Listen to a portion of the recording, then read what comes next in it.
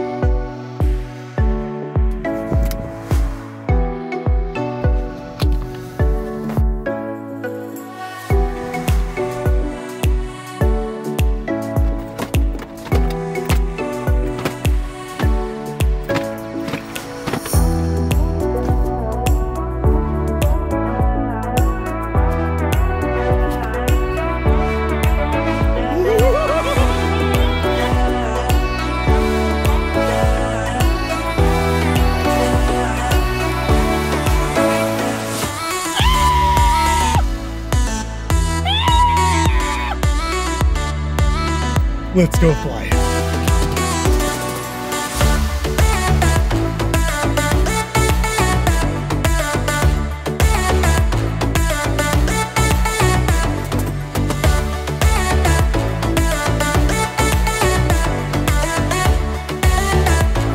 We're gonna run through some quick feature tests. Let's start with slow-mo.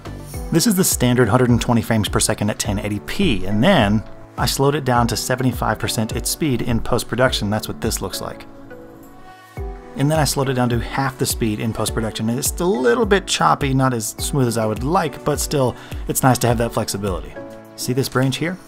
It's what stopped the drone from going forward. So the obstacle avoidance does work and the proximity sensors are awesome. So awesome in fact that on the way back it moved the gimbal because it stopped so hard. Next I tried out the cinematic mode where that's the classic droney flyaway and it worked fantastically. Stability in high winds was also very good, although it does make the motors, those little poor motors, work really hard, it remains decently stable in high wind conditions, but it won't last quite as long.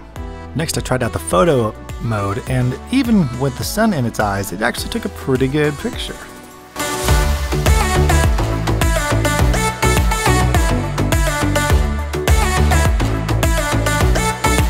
Next, I tried the gesture controls. You could send it away and you could also raise it up. All the stuff that I've been hearing about the gesture controls being gimmicky and not really useful, I disagree with. One of the most exciting things about this drone to me, and a big reason why I bought it, is the active track technology that it has in it. The drone will follow you wherever you go, and I was delighted by how well it worked, plus the ability to use your hand to reposition it if you need to make an adjustment without having to go and pick up the controller again and as an added bonus, you can even tell it to land. Next, I tested its ability to automatically avoid obstacles while backing up or going forward while also tracking an object, and I have to say I was quite impressed with these results as well.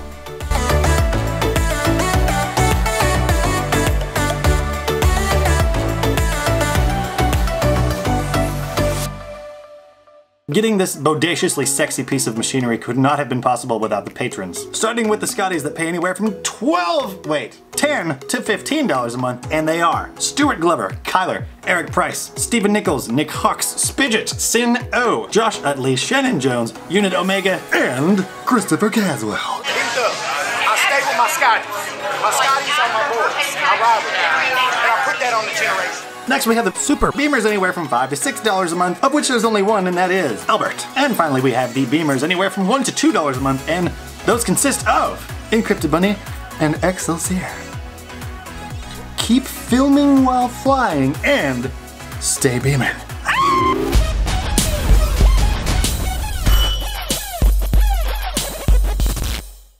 Chipping away at my Best Buy uh,